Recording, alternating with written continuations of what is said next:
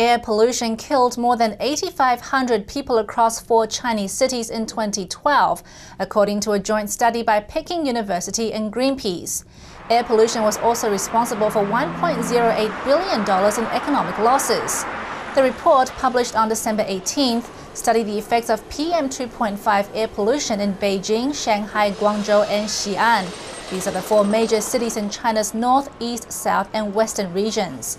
The research concludes that if these cities lower their PM 2.5 pollution levels to meet guidelines issued by the World Health Organization, such deaths would be reduced by at least 81%.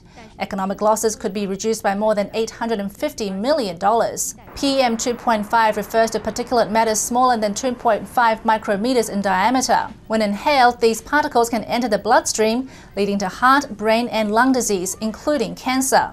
Studies show that most PM 2.5 is created by the combustion of coal. The majority of China's energy comes from coal burning. Greenpeace is calling for a quote urgent policy adjustment by Chinese authorities to cap regional coal consumption. It also wants existing coal fired power plants to be retrofitted with nitrogen oxide scrubbers.